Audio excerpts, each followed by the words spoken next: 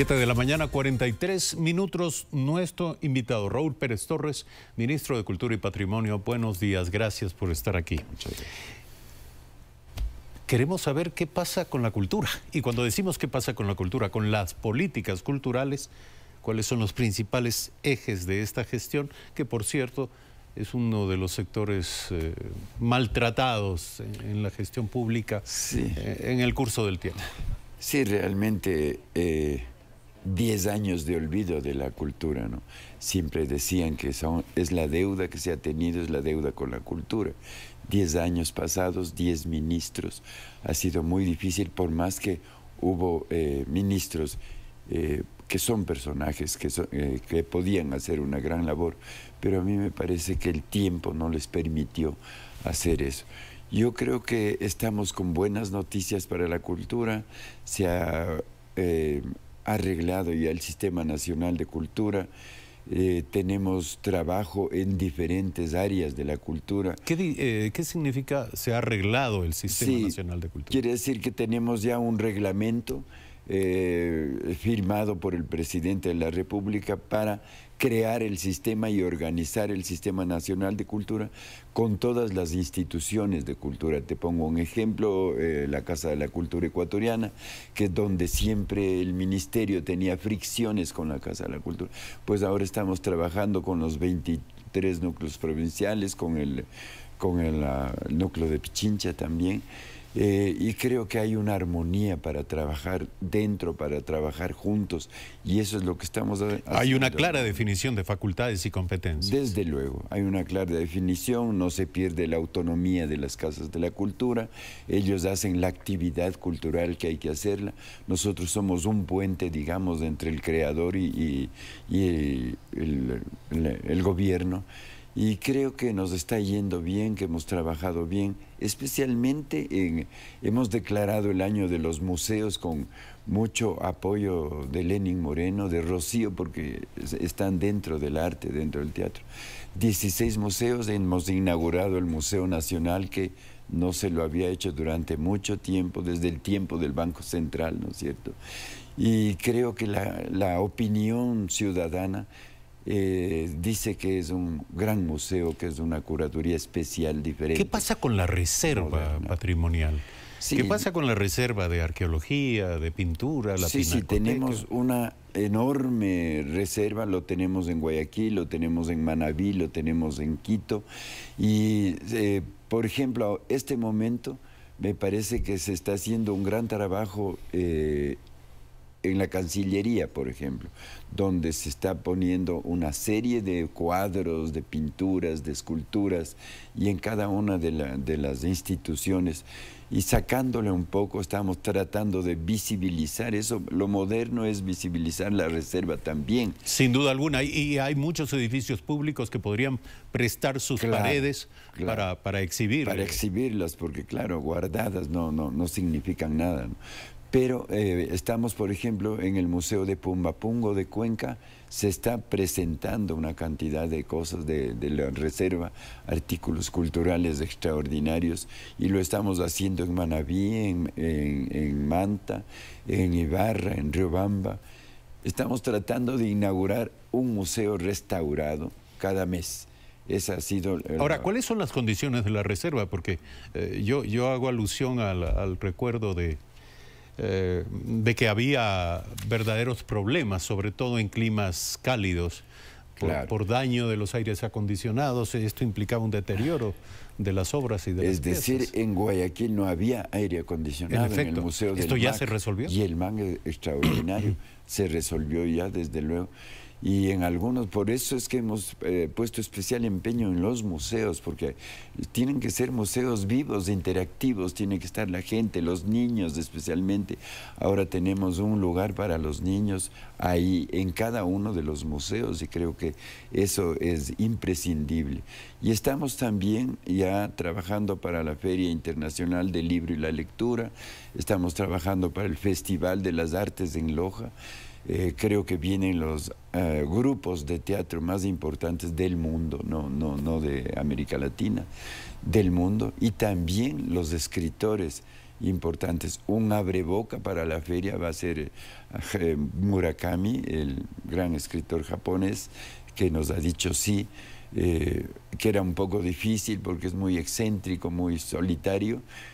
No aceptó en Colombia, no aceptó en Argentina, pero lo trajimos también porque le vamos a llevar a Galápagos. Ah, bueno, eso es un excelente argumento. Es un argumento. Eh, sin duda. Eh, ¿Cuál es el país invitado para la próxima Feria del Libro?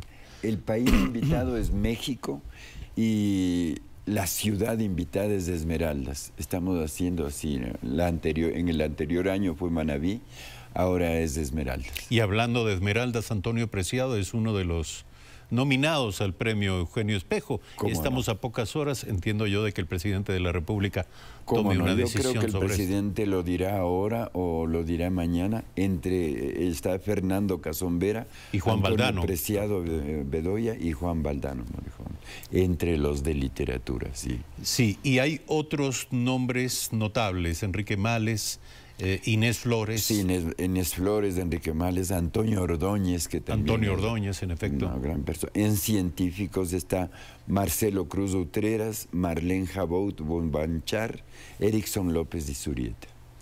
Entonces creo que sí se tiene de dónde escoger. Hay grandes personajes. Quedaron fuera algunos grandes personajes que, bueno, en cualquier momento se, será ¿Cuál es la gran apuesta del Ministerio de Cultura? Y yo me refiero que, claro, la cultura es un territorio vasto eh, y diverso, claro. sin duda alguna, pero en algún punto la política pública debe tomar decisiones y decidir por eh, determinadas líneas de trabajo. ¿Cuál es esta apuesta? Sí, yo creo que más que todo eh, en el punto grande sería multiplicar el pensamiento de la patria en todos sus sectores, en todos sus valores. Para eso estamos haciendo, por ejemplo, el plan del libro y la lectura. El Ecuador es el país que menos lee en América Latina, en la región. ¿Esto está medido? Está medido, está comprobado. Está comprobado, tenemos las estadísticas. ¿Cuán poco leemos? Eh, hay, hay, un, hay una comprobación que dice que el ecuatoriano lee un libro y medio por año. Eh, entonces, ahora nos Sin mencionar eh, a qué libros nos referimos. Sí, sin mencionar a qué libros nos referimos, sí. Así es. Eh, solamente que leo un, medio, un libro y medio por año. ahora estamos entrando en los hospitales, en las cárceles, en las comunidades. Acabamos de hacer la maratón del cuento junto con, con otros especialistas en la materia, en, en Esmeraldas, en Riobamba. Entonces hay que hacer que el libro sea atractivo, especialmente para los niños y para los profesores. Estamos haciendo talleres en ese sentido y creo que se está funcionando de mejor manera. Hay que evaluar, hay que ver qué es lo que... Y para eso cuento con gente profesional, con cuenteros profesionales, con artistas de la, de la lectura. Estamos eh, trabajando con Edgar Alan García, con maestro Antonio Correa, con Silvia Estornayolo, que también son profesionales en, la escritura. Claro, esto de la promoción del libro a veces nos lleva a pensar en que eh, se, se, pone mucho hincapié en la promoción de la actividad editorial, pero eh, en realidad es el contenido de los libros lo que atrapa, lo que hipnotiza lo que conquista a los lectores. Y no somos, o podríamos ser ciertamente, un país de grandes narradores, de grandes contadores de historias. Somos un país de grandes contadores de historias, de grandes narradores.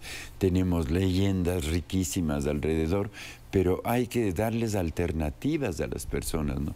Es decir, no obligarles a leer un libro, un cuento, pero sí eh, hacerles atractiva esa lectura, poder dialogar con ellos, hacerles un seguimiento, especialmente, como digo, a los profesores, ¿no? Desde luego a los niños, pero a los profesores, porque los profesores tampoco leen.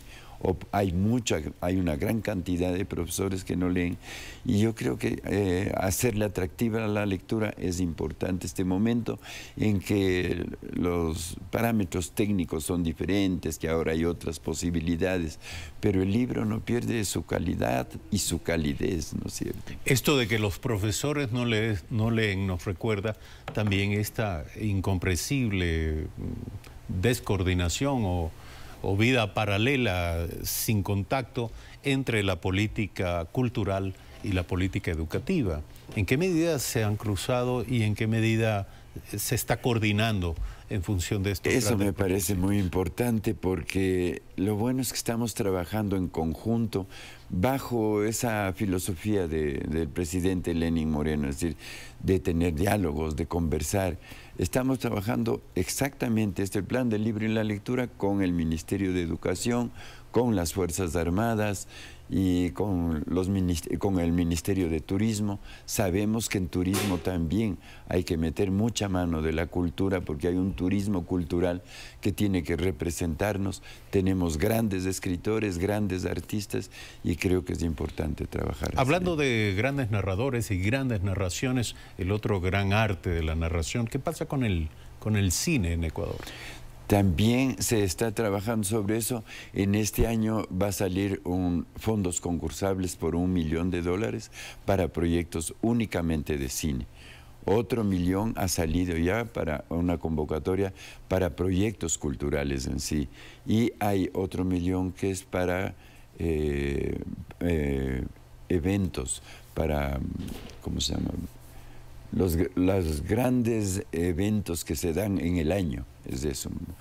Entonces, un millón para cada uno, que es, un aporte que da el Ministerio de Cultura. Y que son da el fondos concursables. Son fondos concursables para no dar a, dedo, como se dice, no tenemos eh, jurados que son fuera de, fuera del Ministerio de Cultura. La información para nuestra audiencia y nuestros televidentes puede ser encontrada en, eh, en el ministerio, sí, en la página web del ministerio están todos los fondos concursables y cómo hay que, que cada vez hemos suprimido la burocracia, digamos, en ese sentido, porque el artista eh, no te llena muchos documentos, hay que darle una facilidad para que se pueda trabajar bien. Sin duda alguna, y eso fue uno de, los, de las quejas permanentes, reiteradas, de los sectores y activistas culturales. Finalmente, el anuncio de los ganadores del premio Espejo, ¿para cuándo se espera? Eh, es el 9 de agosto la premiación en el Salón Amarillo de la Presidencia de la República. Lo hará el presidente Lenin Moreno y será para la literatura, para las artes y para la ciencia. Pero los, eh, los, los ganadores se conocerán cuándo? A mí me parece que mañana lo dirá el presidente de la República. Muy bien, gracias a Raúl Pérez Torres, ministro de Cultura y Patrimonio esta mañana aquí en Primera Impresión, 7 de la mañana, 56 minutos. Al término de esta emisión, como siempre recomendamos a ustedes, la lectura de Diario El Telégrafo.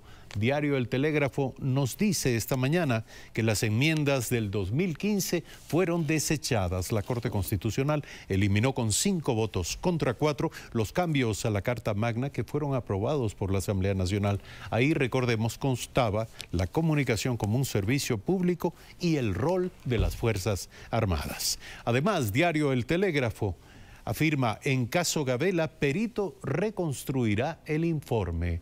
El eh, perito argentino Roberto, Roberto Mezzaiello lo hará, aunque pedirá otra vez la información. Y finalmente, Diario El Telégrafo nos dice el 90% de la población mundial respira aire contaminado y nos enseña una fotografía que es lastimosamente habitual para quienes habitamos en la ciudad de Quito. El año pasado la emisión de gases de efecto invernadero rompió el récord, advirtió Estados Unidos. Gracias amigas y amigos televidentes por su sintonía mañana desde las 6 y 55, nuevamente con ustedes en Primera Impresión. Buen día.